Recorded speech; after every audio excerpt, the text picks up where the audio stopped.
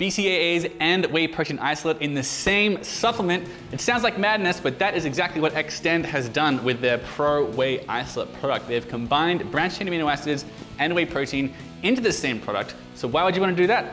Well, some people think it could maybe help with muscle retention, there are a few conditions there I'm going to get into in a little bit. So I'm going to talk about the nutrition, the ingredients, the price, and the overall pros and cons of this pretty unusual whey protein supplement so you can make up your own mind as to whether or not it's the right product for you. For now though, I'm going to try out this chocolate lava cake flavor.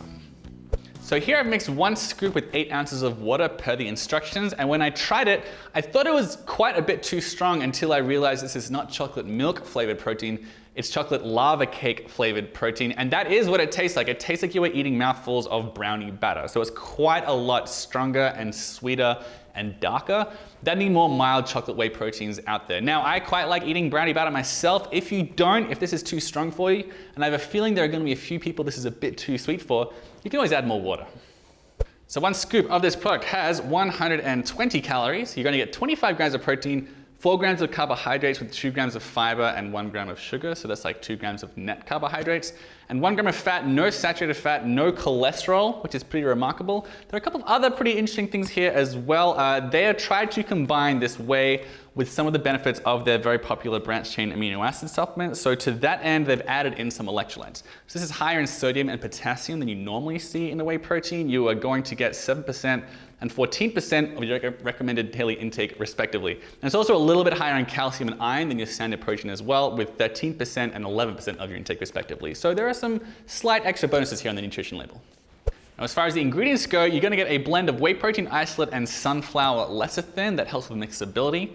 Then you're gonna get some cocoa powder in this one, natural flavors, and then the branched chain amino acids, leucine, valine, and isoleucine. You're gonna get some gums as well, like for thickening and stabilizing. That's guar gum and xanthan gum.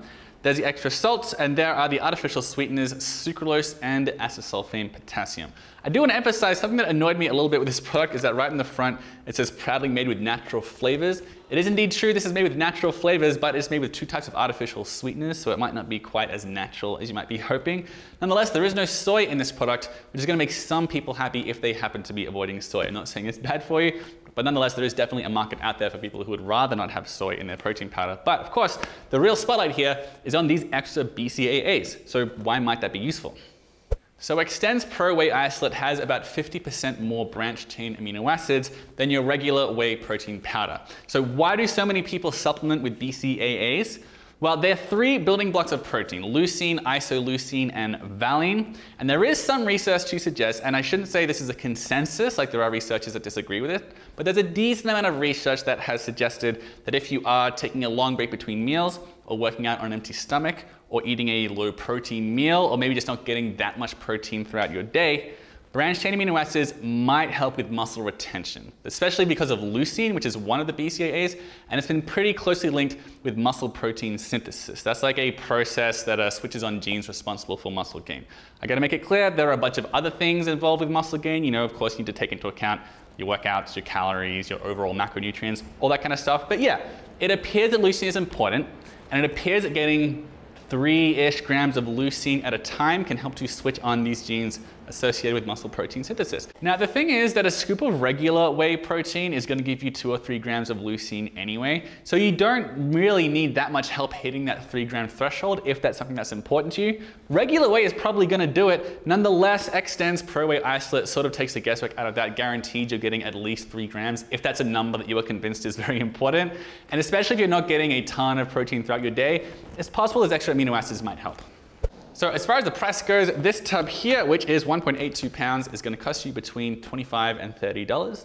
So it comes to about a dollar and 15 cents or so per serving, like a dollar 15 to a dollar 20, or about 4.7 cents per gram of protein which is pretty reasonably priced, like on a per gram of protein basis. Uh, the biggest, biggest names out there, the ones that can afford to have very cheap protein powder, they're usually between you know, three and five cents per gram of protein.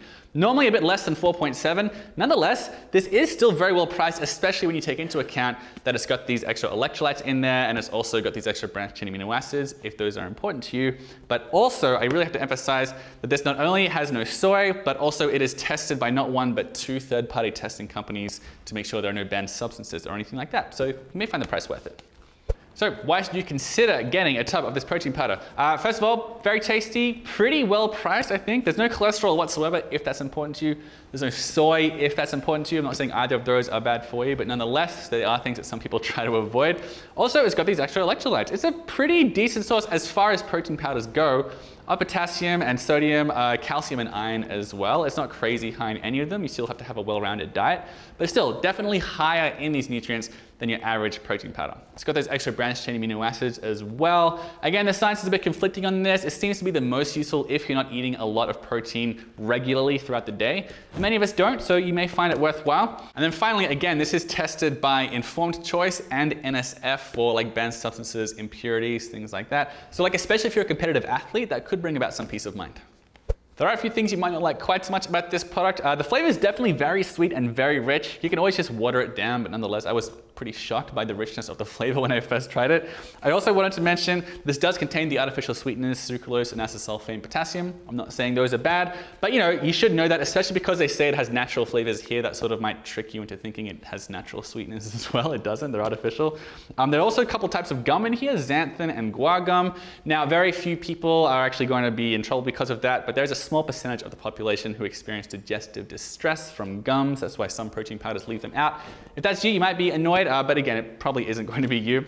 There are no digestive enzymes in this. That's a very small thing, but a lot of the bigger name protein powders that they compete with, they'll add in like some lactase or proteases or enzymes that might potentially help with nutrient absorption. This is a, a very, very small thing, but some people prefer to have those in their protein powder.